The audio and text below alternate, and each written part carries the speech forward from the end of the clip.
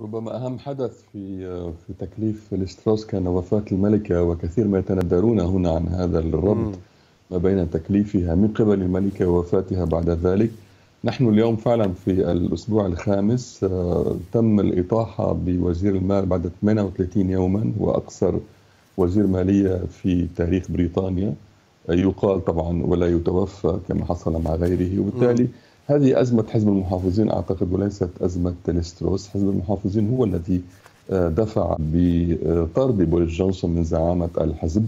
وإذا نظرنا كثيرا عن الأسباب التي دفعتهم لذلك الأسباب لم تكن أسطورية إلى هذا الحد باتهامه بأنه حضر حفلات آه، في داخل مكاتبه بينما كانت بريطانيا مغلقة لم لم يتهم بفساد أو بصفقات أو بكل ذلك. وبذلك ذهبوا هذا المذهب ليأتوا بعد كل هذا المخاض بليستروس. ثانيا أنه أيضا هذه التجربة تعلمنا أن رجال السياسة لم يعد بإمكانه أو التحكم بإدارة البلاد دون الأخذ بالاعتبار السوق. ماذا يريد هذا السوق؟ هذه النظريات الجديدة في الاقتصاد التي قيل أنها استخدمت أيام رونالد ريغان آه، في الولايات المتحدة تبدل الظرف الدولي تبدل الظرف الاقتصادي وبالتالي هذه الأصوات كانت ردود فعل شديدة السلبية وصادمة ضد هذه الإجراءات التي اضطرت ليسترس نفسها إلى أن تتنازل بشكل مذل كما تقول الصحافة البريطانية أن تتخلى عن وزير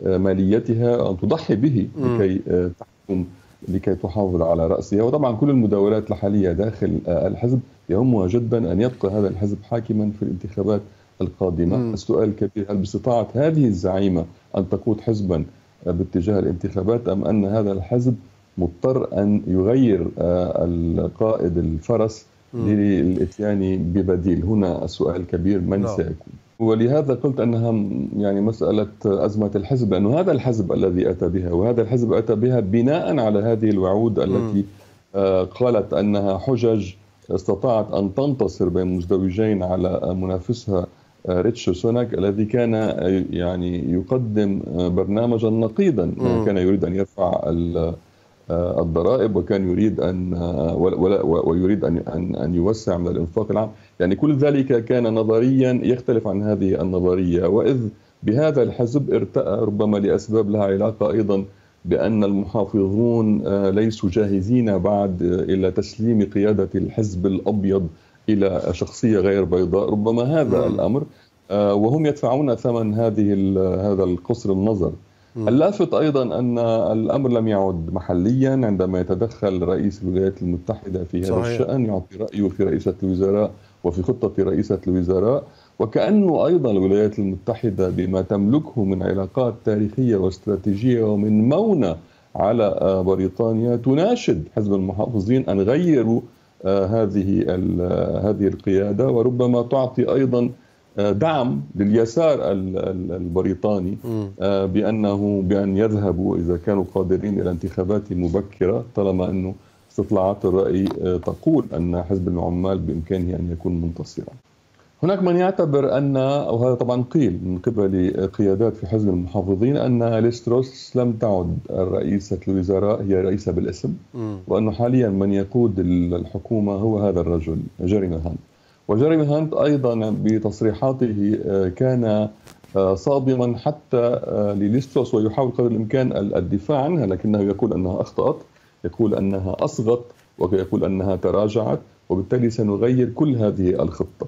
المشكلة الأساسية هو غدا كيف ستستقبل الأسواق التي صفعت ليز تراس؟ ليز تراس هذا التغير الذي حصل خلال ال weekend إذا كانت الأسواق تتجاوب نوعا ما فبالتالي باستطاعة هذا الرجل أن يذهب بعيدا آه، في خطته في رفع الضرائب وفي التضييق على الإنفاق آه، العام.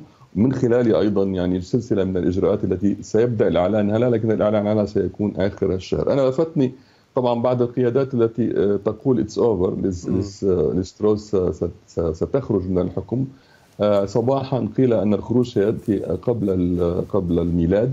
وفي المساء من قال أن الخروج قد يأتي قبل آخر الشهر.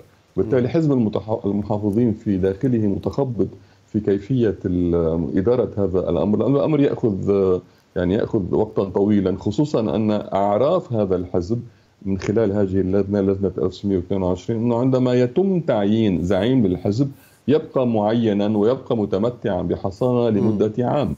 لكن في نفس الوقت بدأت قيادات هذه هذه اللجنة تقول أن الامر طيب. ليس مقدسا وبإمكان التغيير إذا كان هناك اغلبيه وازنة من نواب حزب المحافظين تطلب ذلك.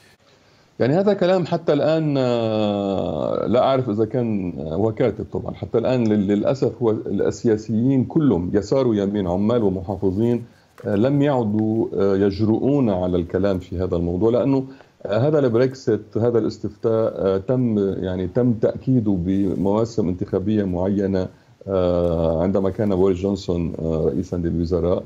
ونوعا ما حتى حزب العمال آه، أيام جيريمي كوربن أو حتى الآن لا لا يتحدث لا يتحدث بهذه الأريحية في العودة إلى الاتحاد الأوروبي رغم أنه حتى الآن ربما كل المنابر الاقتصادية بدأت تعترف وتقر أننا أخطأنا في هذا الشأن وندفع ثمن ذلك وانه ما جعلنا لا نرى الأمر هو هذا الكوفيد هذه الجائحة التي ضيعت هذه البوصله ما بين الأزمة المتعلقة بالصحة أم أزمة متعلقة بالبريكسيت لكن حتى الآن سواء في أزمة الحزب المحافظين أو في أزمة آه، طوق وطموح حزب العمال أن يكون بديلا لا أحد تحدث على المستوى السياسي الرسمي بالدفاع من جديد عن هذا الخيار. ربما سيكون الأمر أكثر آه، الحاحا خصوصا انه تلويح اسكتلندا بالانفصال بسبب هذا الأمر قد يفتح أيضا نقاشا داخليا حول نجاعة الخروج من الاتحاد الأوروبي.